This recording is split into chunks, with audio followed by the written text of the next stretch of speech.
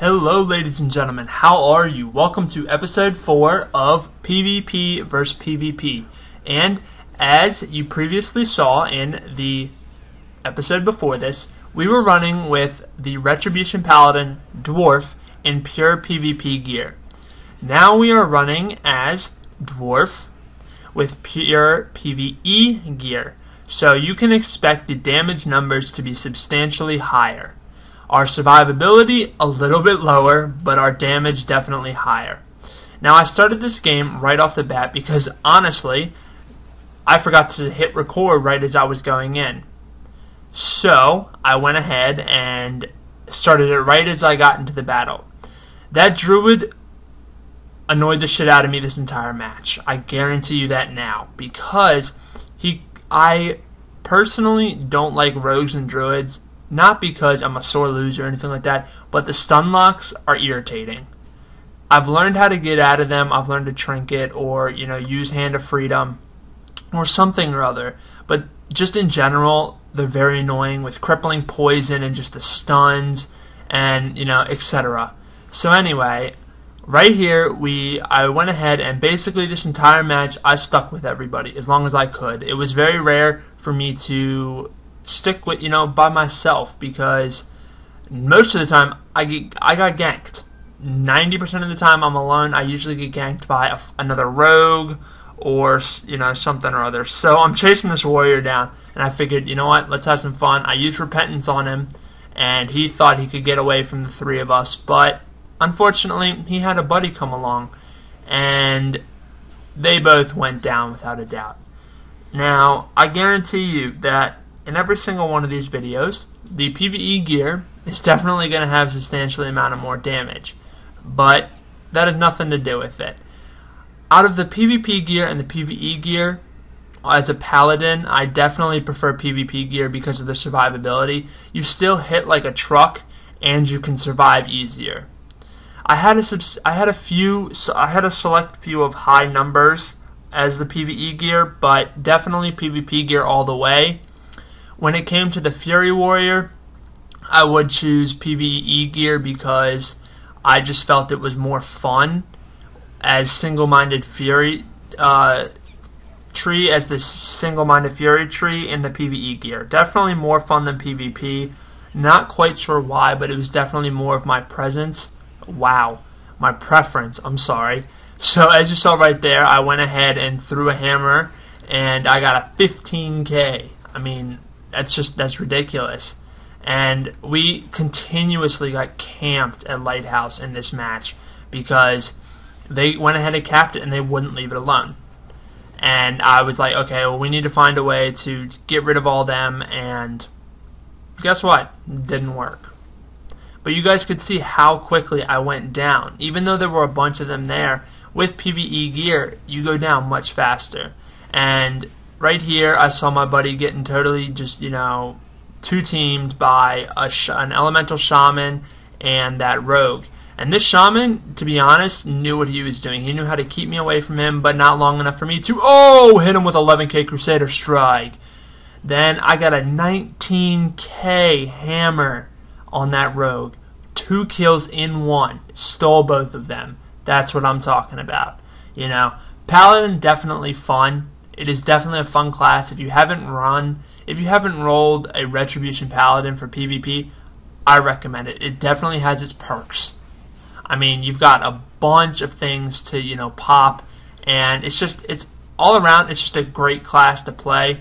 As you guys can see here, I am popping crits off the bat. 22k, 22k, 20k. You know, it's just like, how many more crits? And my crit chance was only like 5%.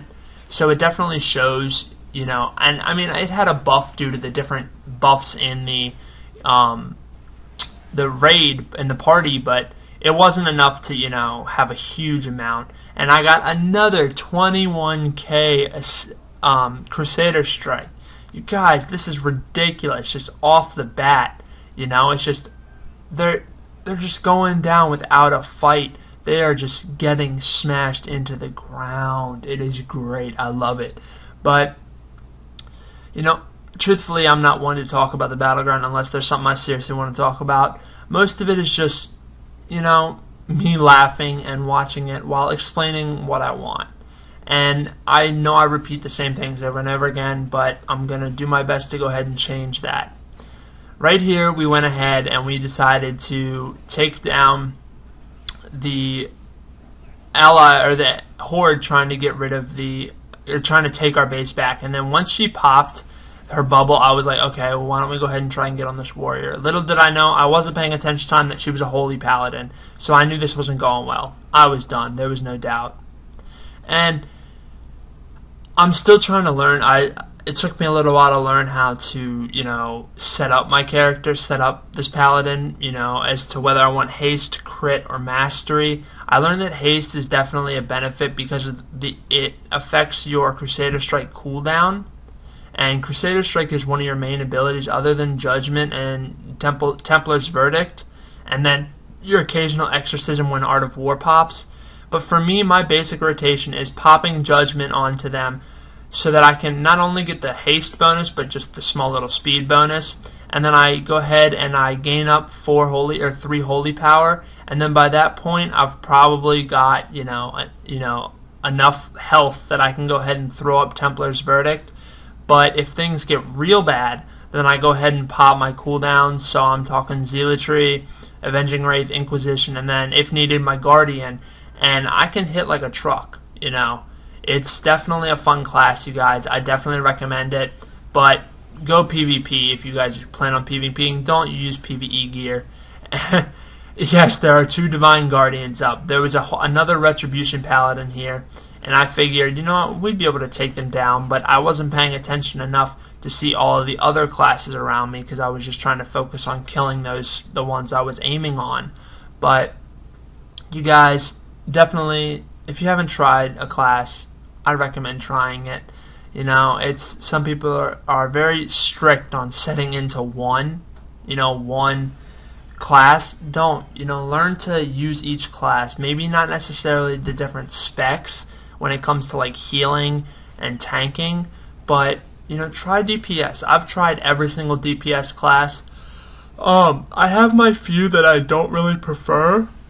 Uh, you know, like I'm not one. I don't like rogues all that much because they're just I'm not great with energy conservation. It takes me a little while to get used to. But all the other classes I have a great time with. My DK, I'm you know I love my DK, great with my DK. And then Paladin is definitely another one of my favorites. But when it comes to DPS, my all-time favorite is definitely an Elemental Shaman, which you guys stay tuned for that. You will see the massive amount of crits, the damage that goes on and it's just it's so much fun. So we decided we'd chase down this this um, druid, and he got up here and he started healing himself, and we were like, "What the hell? How is this possible?" And by the time we knew it, we had half of their freaking team on us, and we were like, "Shit!" And I don't know how, but this druid regained a shit ton of his health back. Um, and I didn't even see him heal himself, so it definitely wasn't, you know, him healing himself, but it might have been the savage or the, the regeneration that from his bear form. I don't know. But once all these guys popped up, I knew there was no getting out of this. I tried as hard as I could, but there was just once I was thrown down, it was done, you know. So that's it, you guys. See ya.